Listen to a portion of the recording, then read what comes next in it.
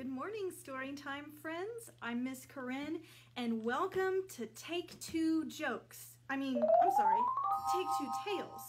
Take Two Tales. It's just that today is April Fool's Day, and so everybody's got jokes on the mind, but I, you know, I don't really know that many good jokes, so I'm just going to tell you a story today, and it's going to be a very serious story. Okay? It's Mrs. McNosh Hangs Up Her Wash by Sarah Weeks and Nadine Bernard Westcott. Every Monday morning, Mrs. McNosh hangs up her wash. Every Monday morning, Mrs. McNosh does the laundry, and after she's washed all of the clothes, she hangs them up. She hangs up the dresses, she hangs up the skirts, hangs Mr. McNosh's nice button-down shirts. She hangs up the socks. She hangs up the shoes. She wrings out the paper and hangs up the news. She hangs up the dog. Dish, and his bone.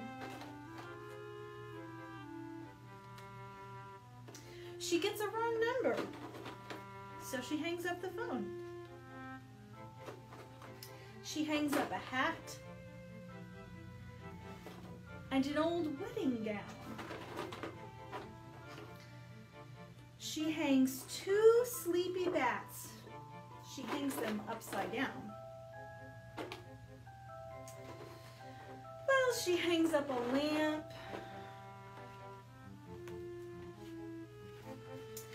A big Christmas wreath. And Grandpa McNosh's removable teeth.